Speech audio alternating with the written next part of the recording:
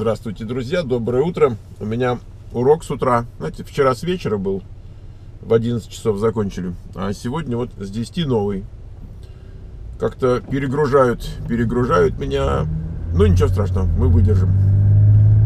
Сегодня с утра тут такое шоу, что Голливуд отдыхает и вообще, даже не знаю, с чем сравнить по популярности, может быть, там с финалом каким-нибудь футбольным.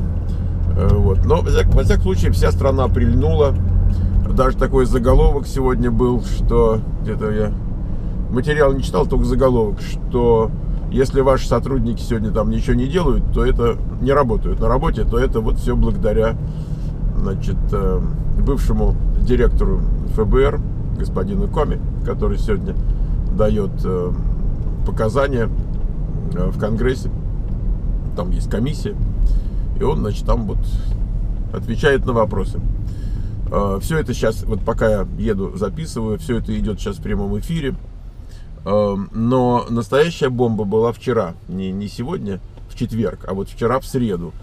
А, тоже шли слушания, тоже там разный народ допрашивали из э, сказать, служб безопасности народ э, категорически отказывался отвечать на всякие вопросы. Но я, я понимаю тоже, что, скажем, людям, которые привыкли там под секретом все, и вот так в публичных слушаниях лишнего болтать им э, не хочется. Ну, не то, что не положено и, и так далее. Ну, в общем, там тоже такое шоу было, но мелкое шоу. Зато вчера опубликовали такое, ну, как бы сказать, записку от этого Ками э, о том, где он э, рассказывает о своих встречах с президентом. Э, это как бы для того, чтобы в четверг, то есть сегодня, вот обсуждать. То есть он написал некоторую такую, как у нас говорит, самбори такой, значит, просуммировал, да.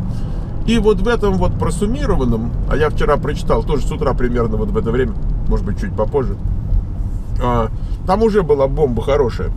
То есть Эм,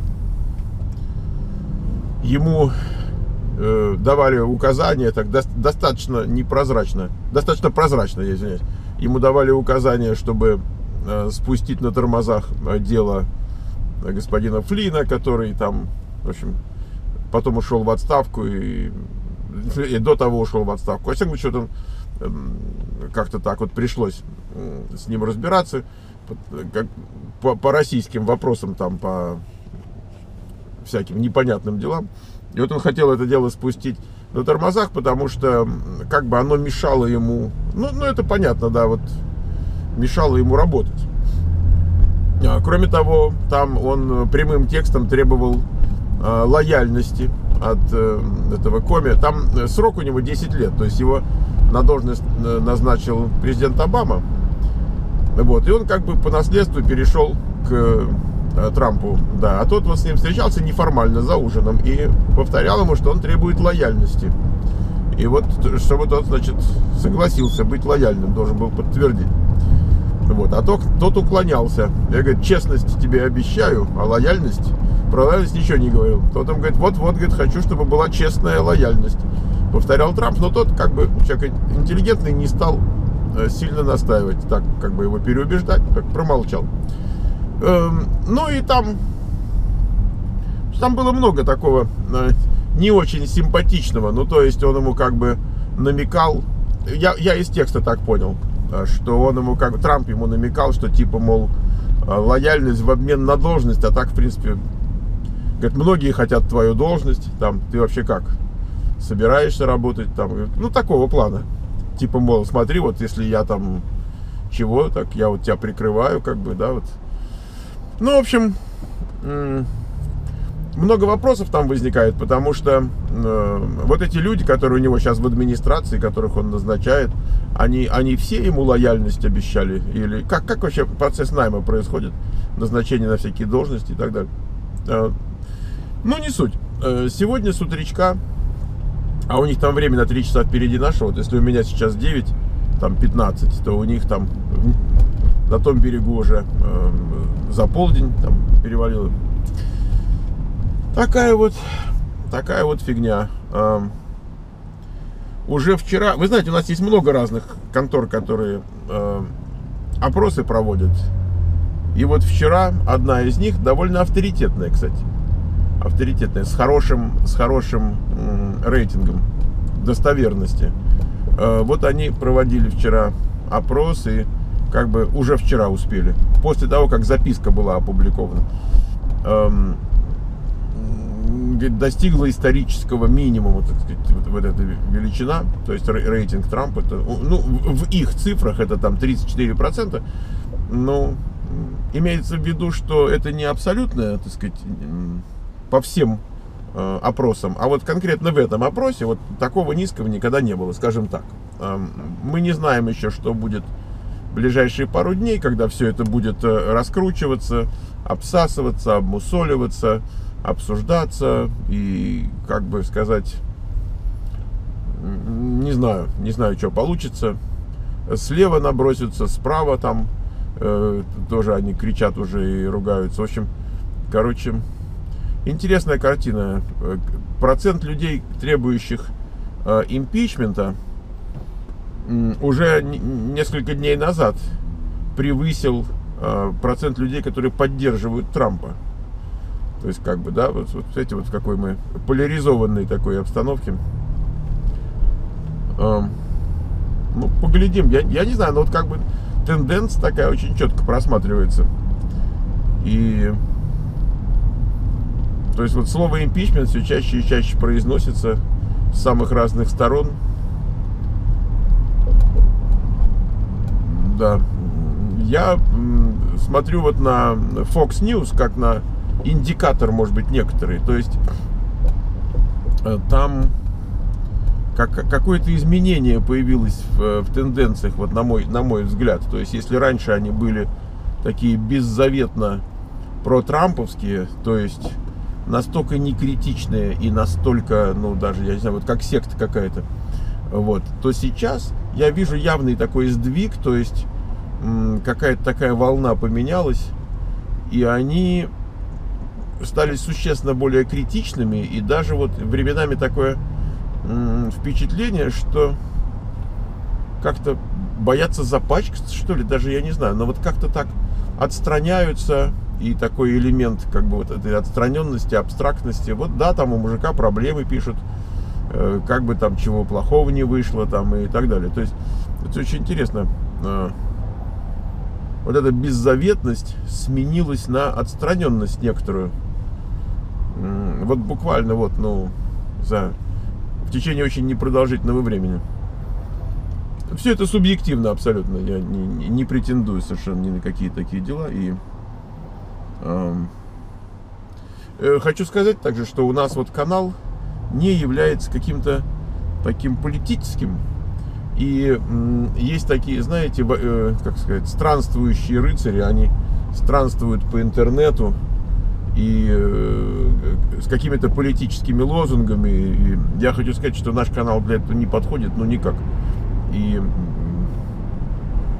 я думаю, те, кто у нас как бы постоянно, они, они в курсе, но вот э, и, и, и склоки всякие дрязги на этой, на этой почве тоже ни к чему. То есть я делюсь, но э, иногда вот так тоже мимо не пройти бывает, но не для того, чтобы какие-то склоки возникали или там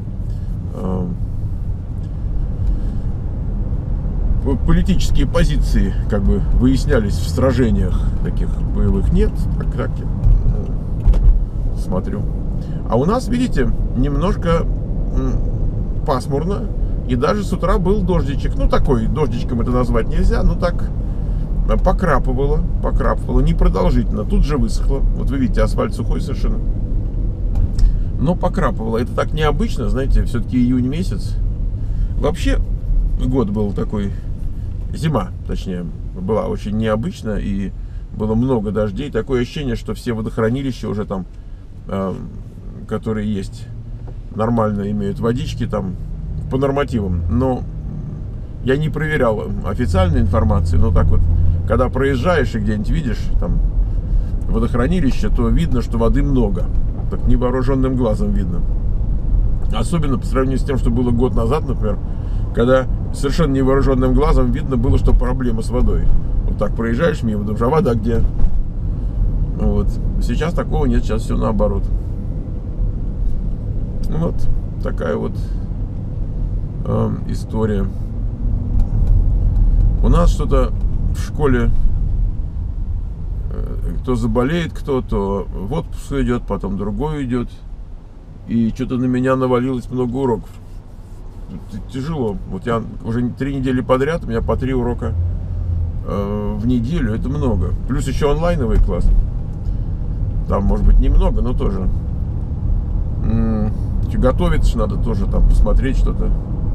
Вот сегодня у меня автоматизация, там, Selenium WebDriver.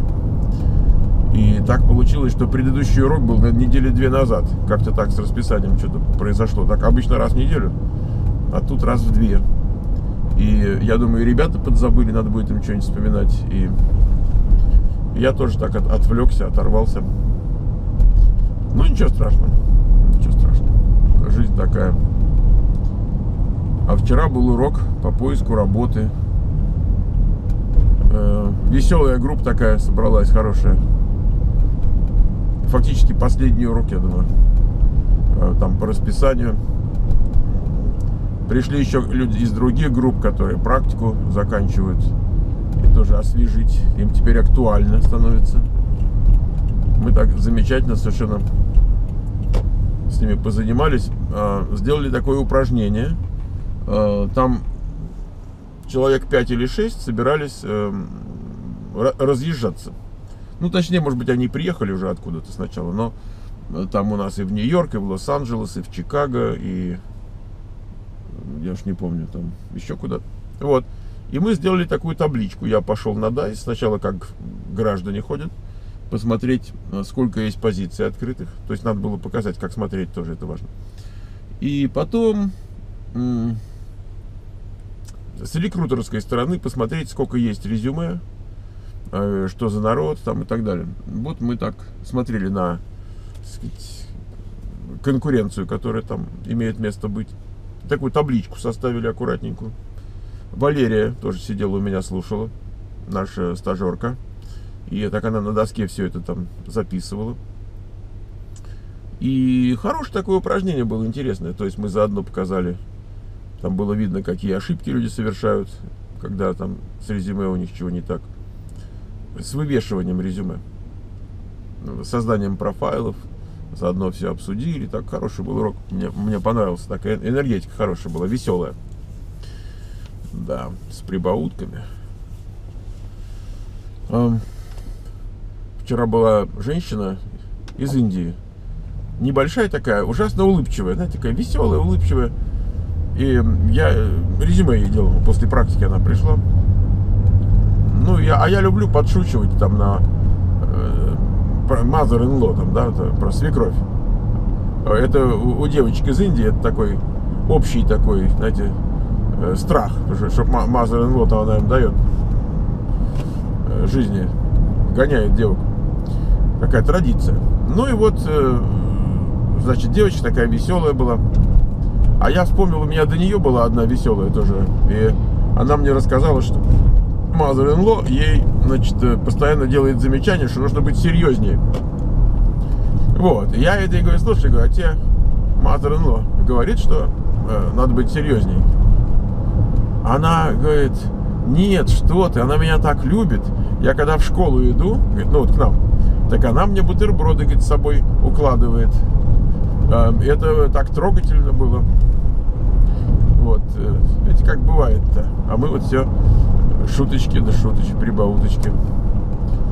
А бывает вот так нежно, душевно. Я прям растрогался. Ой, так, так, так, тормозят, тормозят люди. Ой, это реклама, наверное, компании VMware, правда? Это же не, не, не то, чтобы машина их грузовая. Угу. Fortune 100 Best Companies to Work For. Наверное, реклама на траке там. Чего только тут нет. Да. А завтра пятница, и пятница выходной. И это большое подспорье. Надо в себя прийти немножко. Да. Не знаю, что буду делать, но буду приходить в себя. А мне нравится, что вот так э, пасмурно. А, давайте я камеру разверну. Ой. О, пожалуйста. Светлый образ. У нас дома мы там раутер меняли, вы знаете. И надо будет подстроить, а то принтер мой, не, не принтер, точнее, у, ком, у Светиного компьютера, к нему при, придел. И надо из-за смены раутера, там надо некоторые настройки сделать. Я не могу, не, не смог распечатать вопрос, хотел сегодня распечатать. А, и так поговорить в ответе на вопросы. Есть сейчас несколько хороших вопросов, там сидят на форуме на сайте залив.орг. Но не удалось распечатать, так как я неожиданно обнаружил, что э, сеть наша, так сказать, ну, так, условно, э, развалилась. И мой компьютер не видит тот принтер. Ну, ничего. Распечатаем в следующий раз с вопросами. У нас вопросы накопились, значит мы на них будем отвечать. Да. Так. Ну что, вот и, и приехали, вот и вот и на работу. Сколько там? Пол десятого. У меня еще полчасика есть, значит, надо запустить компьютер преподавательский. Там проверить, чтобы все работало. Знаете, как бывает. Там у меня, ну, какой-то какой такой environment есть рабочий. А на этом компьютере сразу 3-4 преподавателя работают с, с этим веб-драйвером, и с, соответственно, Java, Eclipse там, и так далее, JUnit. И, ну, бывает, педагоги друг другу создают какие-то неудобства. Так что вот эти полчасика у меня на то, чтобы посмотреть, что все готово к уроку. Вот так. И вперед. Ладно, друзья, не буду вас больше грузить э, нашими историями. Возвращаясь к показаниям вот этого Аками, я не знаю, во что это все выльется. То есть одни говорят, пишут по-разному. Одни говорят, что хана ему теперь, Трамп в смысле. А другие говорят, что показания Ками снимают вопрос о том, что Трамп на него как-то там давил, в смысле требовал закрыть дело. Есть такое понятие obstruction of justice, то есть я бы перевел как препятствие правосудию, да, создание препятствий правосудию, и это, это очень серьезное преступление для людей на административной должности. И вопрос был о том, что было ли вот это давление, и, соответственно, был ли, был ли факт вот этого obstruction of justice. И те, кто такие протрамповские, они говорят, ну, прореспубликанские, они говорят, ну, явно не было. То есть он, он вот остановился где-то, вот, вот, вот он, есть некоторые точки, вот если бы он еще шажочек вперед сделал, Ками, в своих показаниях, то уже можно было бы говорить про вот этот obstruction of justice. Но он как-то встал вот в таком месте, где вот, вот последнего шага он этого не сделал. Эм, с другой стороны, там так близко и так грязно, что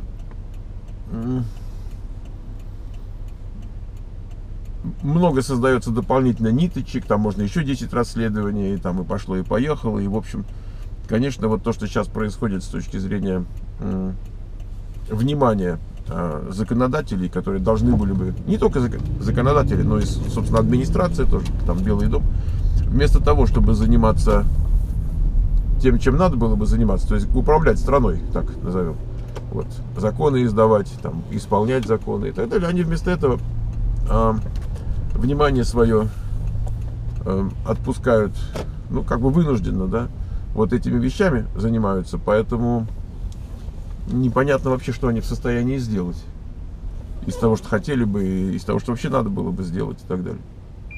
Поэтому все, все это очень нездоровые формы принимается, я, я бы хотел сказать. Ну, такая жизнь. Так что мы с чего начали, вот политически, а к тому и вернулись. Все, ребятки, побежал я на урок. До скорых встреч.